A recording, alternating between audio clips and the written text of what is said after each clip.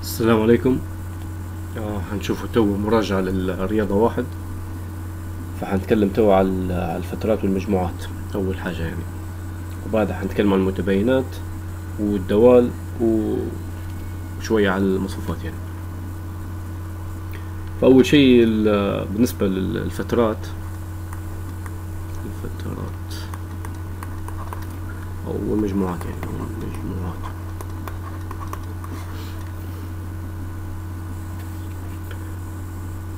طبعا عندنا فترة أنواع الفت... ال- الفترات. خلينا نكتب هنا أنواع الفترات. نوعين. عندنا فترة مغلقة. مغلقة. فترة مفتوحة. بالنسبة المغلقة الأقواس ال- المجموعة ولا الفترة حتكون بالشكل هو. والرمز اللي على الخط الأعداد حيكون زي توا مسكر زي توا طبعا العلامات الأكبر منه والأصغر منه حتكون بالشكل هو. حنتكلموا عليه ماما طبعا أهم شيء في يساوي. هذا ممكن هذا يعني أكبر أكبر منه أو تساوي هذه أقل منه أو تساوي. بالنسبة للمفتوحة الأقواس حتكون شكلها زي توا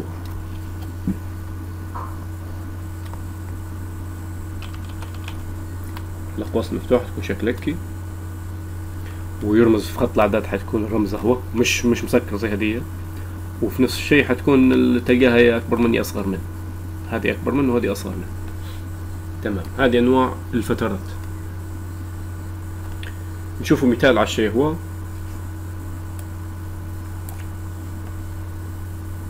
مثال. يعطيك مثلا X أقل بين الاثنين أكبر من هيك أكبر من اثنين X أكبر من اثنين وفي نفس الشيء ال X أقل من الأربعة. يعني ال X محصورة بين اثنين والأربعة وطبعا ما فيش يساوي هنا. فكيف تمثلها دي خط الاعداد جي الخط ال X أهو. تكتب مثلا تشوف الأرقام هذه اثنين والأربعة حتكون اكتب مثلا اثنين هنا. طبعا هذا كله أكبر منه وذاك أصغر منه يعني. اثنين مثلا ثلاثة أربعة خمسة ستة وهكذا يعني. وهنا حتكون واحد صفر ناقص واحد وهكذا. فال X أكبر من اثنين عندك اثنين هنايا وعندك الأربعة هنا. شوف ما درتش الأقواس ما درتهاش مسكرة هيك زي تو مغلقة لأن هي ما فيش هنا تساوي زي هي حتكون هي يعني هي شنو فترة؟ مفتوحة. حيكون زي تو الرمز زي هو. فهمتوا؟ مش حيكون مغلق زي هدايا وفي نفس كيف ظبطتم لأن في أكبر منه وأصغر منه ما فيش تساوي علم تساوي. في المتباينة هي في في ال في الفترة هي. تمام؟ فتكتب الحل زي توك يعني الحل بين وبين بين اثنين وبين الأربعة قد يكون ثلاثة قد يكون اثنين ونص قد يكون ثلاثة ونص قد يكون لكن ما يكونش أربعة ما يكونش اثنين. ما يكونش الحل اثنين وأربعة. أربعة واثنين مش جزء من الحل. لكن هنا حل حل حل تكون من مجموعة الحل. هنا جزء من الحل. لكن أق... يعني أكبر من اثنين بشوية جزء من الحل. تمام؟ اثنين لا ما هيش جزء من الحل. لأن ما فيش تساوي هنا. لو في تساوي إيه اثنين تديرها مغلقة هنا وتكون جزء من الحل. تمام؟ مثال ثاني يوضح. مثل إكس. يعني ال X أكبر من ناقص واحد أكبر من تساوي ناقص واحد وفي نفس الوقت أقل من ثلاثة. كيف مثلا خط الأعداد؟ تعال خط الأعداد اللي هو ال X نفسه. تعال دير صفر دير ناقص واحد عندك ناقص اثنين ناقص ثلاثة وهكذا. وهنا عندك الموجب واحد اثنين ثلاثة أربعة خمسة وهكذا يعني. فهذا ديما الموجب ما لا نهاية وذاك السالب ما لا نهاية. نفس الشيء هذا السالب ما لا نهاية هنا الموجب ما لا نهاية. فعندك النقص واحد وين بتكون هي؟ وعندك ثلاثة وين حتكون هنا. لكن هنا بما أن الإكس أكبر من تساوي نقص واحد فتكون هذه لازم مغلقة زي توا. تكون جزء من الحل نقص واحد. بالنسبة لي هي ما هي جزء من الحل؟ فتكون الحل زي توا. زي توا الفترة هي. فناقص واحد حل كل هذا جزء من الحل كله جزء من الحل كله جزء من الحل. الثلاثة لا ما هي جزء من الحل. تمام؟ فشوف فرق بين اثنين. في. في الحالة الأولى هي تجي تدير الحل يعني الحل حيكون اثنين وأربعة تكتب زي توك. أقواس مفتوحة. تمام؟ بالنسبة للحل في الحالة هي حتكون شوف لأن هي ناقص واحد جزء من الحل فالحل حيكون كيف؟ الحل حيكون ناقص واحد.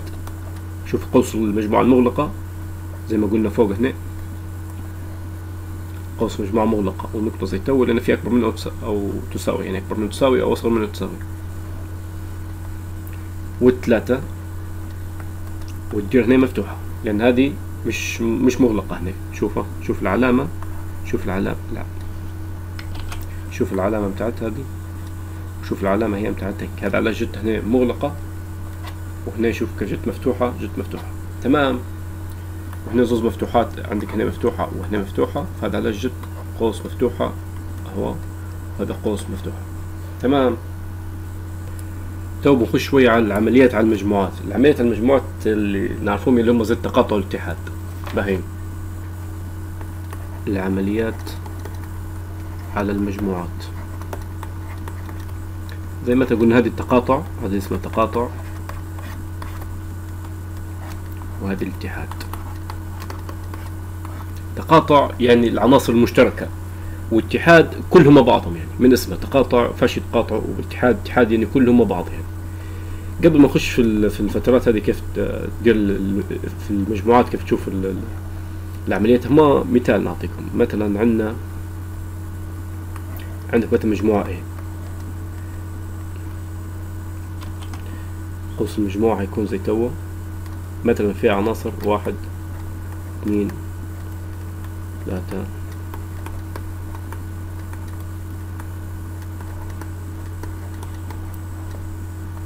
هذه مجموعة A وعندك مجموعة B تساوي يقول أربعة وخمسة. تمام. نبي A تقاطع ال B وال A اتحاد ال B. طبعا ال A تقاطع ال B حتكون حتى مجموعة و A اتحاد ال B حتى حتكون مجموعة. لاحظ شيء بس. هذه واحد اثنين ثلاثة أربعة خمسة سبعة وهذه أربعة خمسة. لاحظ أن الأربعة.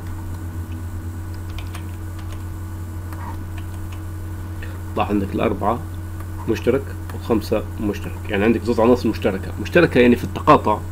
زي ما تفهمنا التقاطع قلنا العناصر المشتركة. التقاطع هنا معناها عناصر مشتركة. والاتحاد يعني من اسمها اتحاد يتحدوا. يعني الكل بعضهم الكل. الكل في المجموعات المتحدة يعني. تو نشوفوا كيف. فعندك A تقاطع ال B وين المشترك بيناتهم؟ عندك الأربعة والخمسة وهنا أربعة وخمسة فالمشترك اللي هو تكتبهم زي تو أربعة والخمسة والاتحاد قلنا كلهم مع بعضهم ركز كلهم مع بعضهم يلي هم؟ كلهم يلي هم واحد واثنين وثلاثة وأربعة وخمسة وستة وسبعة وأربعة وخمسة. لكن لاحظ من الأربعة وخمسة لما تجي تكتبهم مع بعضهم مش نعاود نكتبهم هاي. مثلا واحد اثنين وثلاثة وأربعة وخمسة وستة وسبعة. مظبوط ولا؟ هذه تو بتتحد ال B. تحط الأربعة وخمسة صح ولا؟ أربعة وخمسة. لكن هنا ما دام الأربعة والخمسة موجودات فديرها مرة واحدة. ما تديرهمش مرتين تمام؟ فنكتفوا زي تو دير واحد ثلاثة أربعة خمسة. بما إنها موجودات مش حنكتبوهم فتكون زي تو هذا A اتحاد ال B. لو جيت بتشوفها بشكل تمثيل بياني هدية في تمثيل بياني اسمه شكل فين. مثلا عندك ال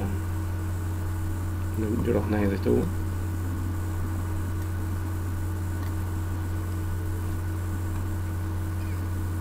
تمام.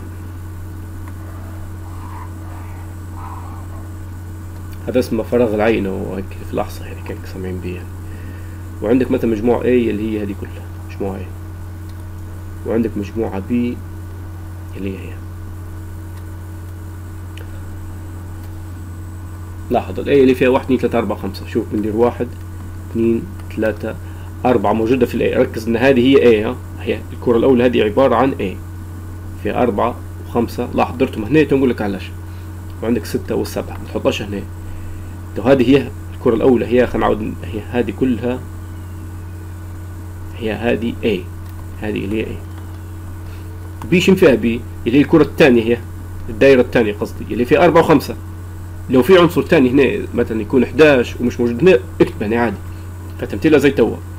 فالجزء هذا هو التقاطع بيناتهم. هو هذا جزء متقاطع ب... شو متقاطع؟ يعني مشترك بين الاثنين. يعني إن A تقاطع ال B واضحة من الرسمة تكون الأربعة وخمسة. زي ما درناها في الحالة هي. هي. تقاطع. والاتحاد شو قلنا الاتحاد؟ الاتحاد اللي هو شنو؟ الاتحاد A اتحاد ال B اللي هو جميع A وال B جميعهم. شو في تو جميعهم؟ اللي هو واحد واثنين وثلاثة وأربعة وخمسة وسبعة تمام. اللي هو زي ما طلعنا في الحالة هي. نشوف مثال. في حالة إن ال A تساوي صفر وخمسة. مجموعة يعني طبعا صفر وهكذا للخمسة يعني. طبعا صفر وخمسة جزء من المجموعين لأن هم أقواس مجموعة مغلقة يعني مسكرة يعني نفس الشيء البي أعطتها لك آه. اثنين وثلاثة. يقول لك أوجد ال A اتحاد ال B. تمام. هذا طلب هيك باهي ويبي ال A تقاطع ال B. تمام. شو يساوي اتحاد ال B؟ يلي هم أول حاجة تقدر لو تقدر تطلعها على طول أنت بدون رسم OK مثلا نقول اتحاد ال B. شو نسوي اتحاد ال B؟ بدون رسم. يعني عندي صفر واحد اثنين ثلاثة أربعة. يعني من الصفر للخمسة هذا جزء من الحل واثنين وثلاثة. يعني لاحظوا إن اثنين وثلاثة جزء من ال A يعني هو هذه صفر واحد اثنين ثلاثة أربعة خمسة. يعني اثنين وثلاثة ال B جزء من ال A في الحالة هي طول تعرف إن هي الحل حتكون اتحاد يعني صفر إلى الخمسة حتكون نفس ال A نجي نرسموها. إحنا قاعدين نحلوا فادي بسرعة A اتحاد ال B. نجي نرسموها ونشوفوها تو هذه. يعني عندك ال A اللي هو صفر للخمسة دير مثلا صفر. آه للتوضيح بس يعني. اثنين ثلاثة أربعة خمسة. طبعا هذاك اللي على اليسار كله سالب. اثنين وهكذا يعني. ناقص ما لا نهاية. لا نهاية شنو الخط هو خط ال X يعني نمثل فيه. تمام. عندك ال A اللي هي صفر للخمسة وشني؟ أقواس مغلقة فتسكرهم زي تو مية مية. ندير زي تو الخط هذه هي المجموعة A. اللي هو من, من هنا لهنا. تمام. B عندك من اثنين لثلاثة عندك اثنين وعندك ثلاثة. أقواس مغلقة فتسكرهم زي تو تمام. فقلنا عملية الاتحاد A اتحاد ال B اللي هم جمع هذه ال B اللي هم جماعة ال A وجماعة ال B جماعة ال A كل هذه. وجماعة ال B هم داخلها. ف OK فحتكون ال A فحتكون يعني إن المجموعة الكبيرة هي. المجموعة الكبيرة هذه كلها. بما فيها الصغيره هذه حتكون المجموعه الكبيره يعني هم متداخلات بالعربي تمام؟ باهي تمام. تو في حالة التقاطع. الاي تقاطع البي أي تقاطع البي. الاي تقاطع البي قلنا المشترك بيناتهم. تو الجزء أهو. هل هذا جزء من ال A مثلا ناقص 2 لا ما هي جزء من ال A. هل جزء من ال B؟ لا. ب. مثلا هنا الواحد الواحد هل جزء من ال A؟ نعم جزء من ال A. هل جزء من ال B؟ لا. معناها شنو؟ معناها هذه جزء من ال A. مش يعني ما تجيش في التقاطع. التقاطع يعني حاجة موجودة في اثنين. موجودة في ال A وموجودة في ال B. باقي اثنين. موجودة في ال A؟ نعم موجودة في ال A. موجودة في ال B؟ نعم موجودة في ال B. فاثنين جزء من الحل. اثنين ونص. ونص موجودة في ال B وموجودة في ال A. الثلاثه موجودة في ال B وموجودة في ال A. ثلاثة ونص مش موجودة في ال B بس موجودة في ال A. فإحنا التقاطع شني المشترك بيناتهم. حيكون شني اثنين لثلاثة المنطقة هذه هي بس المشتركة. تكتبها زي تو. اثنين ثلاثة إن شاء الله تكون واضحة النقطة هذه يعني. نراجع شوي المتباينات. عندك متباينات من الدرجة الأولى. نكتب المتباينات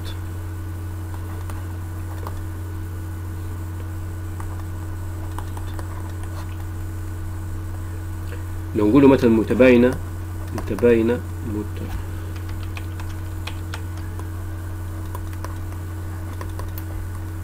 من الدرجة الأولى.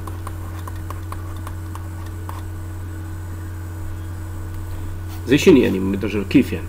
نعطيك مثال بتكون شكله زي تو 2 X زائد 10 مثلا أقل من 15 كيف عرفت من الدرجة الأولى؟ يعني أعلى أس متغير في المتباينة هي طبعا ولا متغير ما عندكش إلا ال X. هذا كله ثوابت هنا. لكن عندك ال X بس هو المتغير في الحالة هي. قديش الأس متاعها لما يكتبوش الأس معناها أسها واحد. فمن الدرجة الأولى فهذه هي. طبعا أسها واحد يعني لما يكتبش قلنا أس هنا واحد. فمن الدرجة الأولى تلقاها زي توا ما تلقاش اثنين اثنين تكون من الدرجة الثانية المتباينة. ثلاثة تكون الدرجة الثالثة مثلا X فهمت كيف؟ فحلها كيف بيكون هذه؟ حلها بسيط يعني ترفع هذا الطرف الثاني تكون 2 X أقل من 15 طبعا هذه بما أنها بما أنها موجب تمشي كيف بالإشارة السالبة صح ولا فتكون 2 X. 15 ناقص 10 بخمسة. وخمسة على 2 ال X أقل من 2 ونص ولا؟ تمام. كيف نمثلها بخط الأعداد؟ مثلا صفر هنا دير هنا 2 ونص حتكون في الموجب بجهة الموجبة.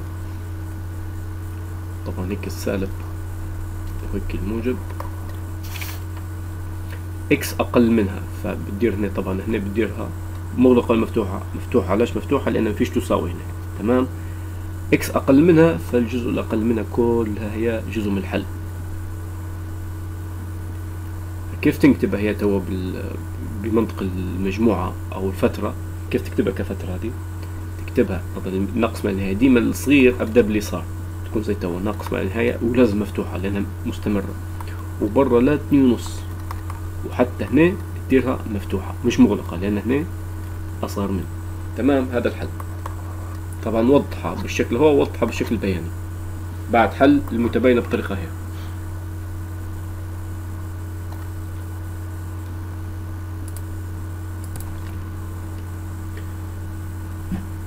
إحنا شفنا توا متباينة من الدرجة الأولى تو بنشوف متباينة من الدرجة الثانية.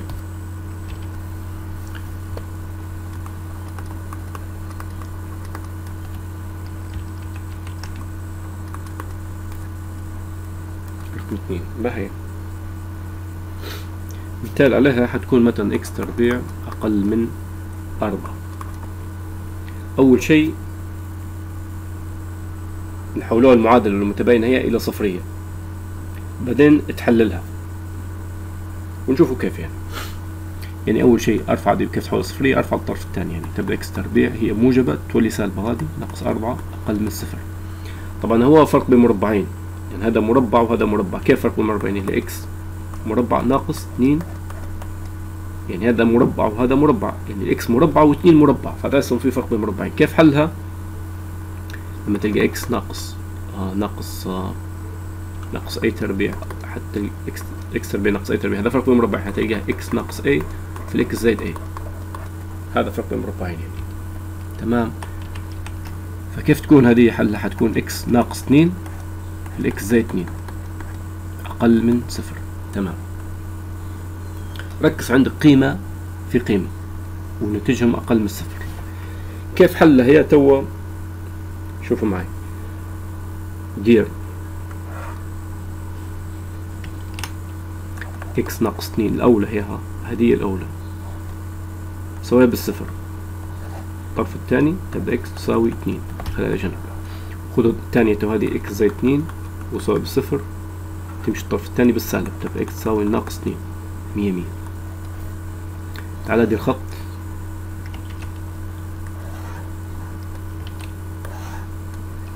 دير الطرف الأول هو ال X ناقص اتنين.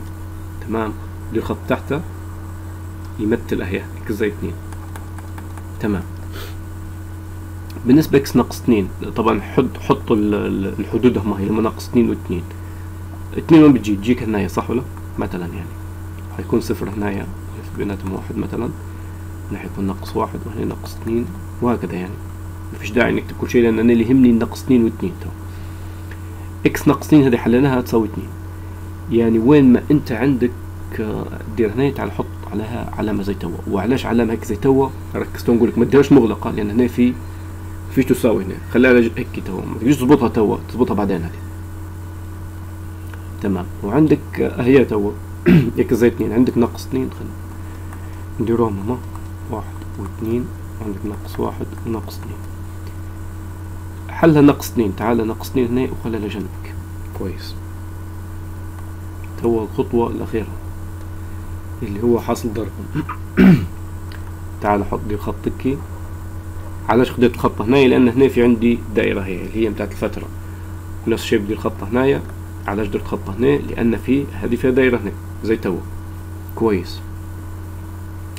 ركز معي تو X ناقص اثنين هذه لو خديت ال X مثلا هنايا بثلاثة مثلا صح ولا؟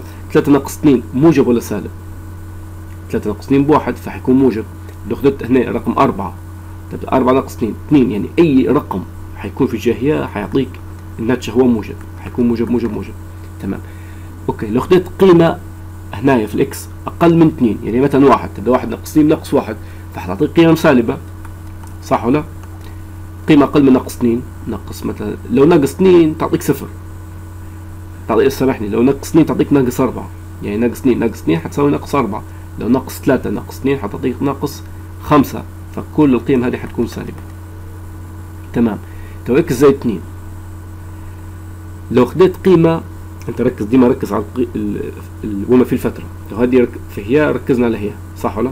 على على على, على النقطة هذه تو نفس الشيء. هنا بتركز على القيمة هي النقطة هذه ناقص 2 لو خديت قيمة أقل من ناقص 2 هي ناقص 3 ناقص 4 القيم اللي هنا يعني على يسارها قول ناقص 3 ناقص 3 ناقص 2 ناقص 3 زائد 2 يعني حط ناقص 3 زائد 2 هتعطيك ناقص 1 صح ولا؟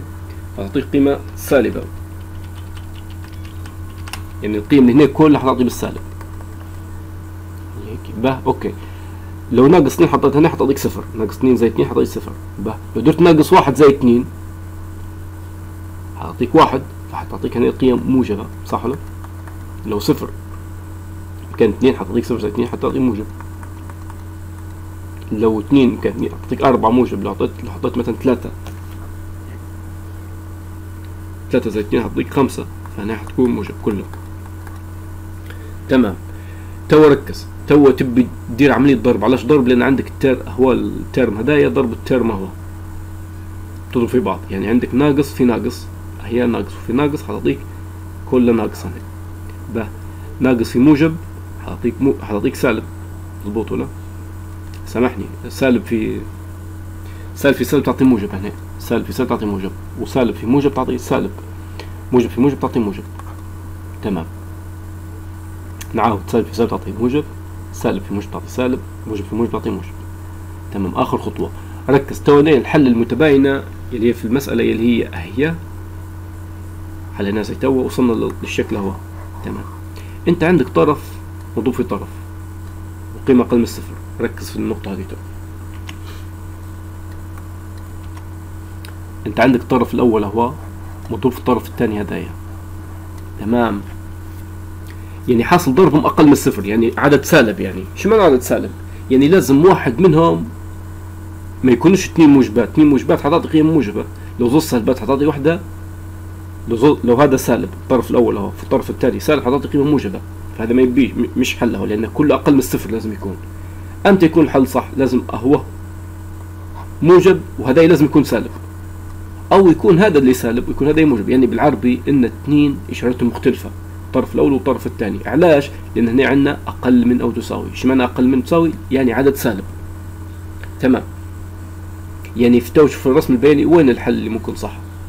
يعني إحنا نبغى قيمة سالبة صح ولا؟ فحتكون لازم هي. تمام؟ يعني إيش معنى يعني الفترة اللي من هنا لهنا الفترة هي هي اللي تعطي قيم سالبة. تمام؟